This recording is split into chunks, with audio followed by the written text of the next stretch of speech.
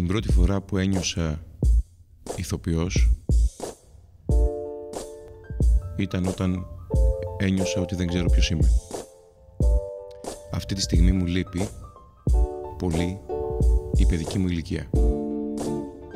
Φοβάμαι τα πάντα.